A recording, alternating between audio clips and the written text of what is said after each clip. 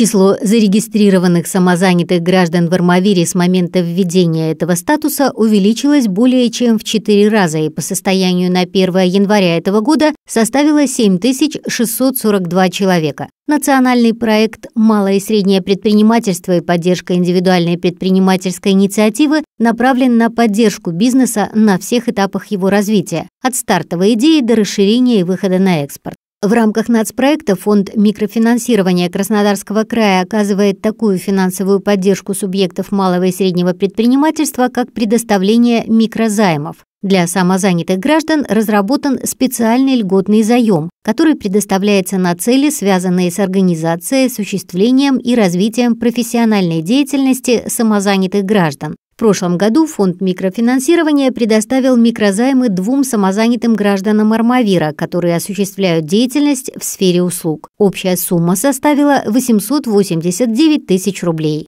Марина Белова, Евгений Халманских, служба информации телеканала 360 «Армавир».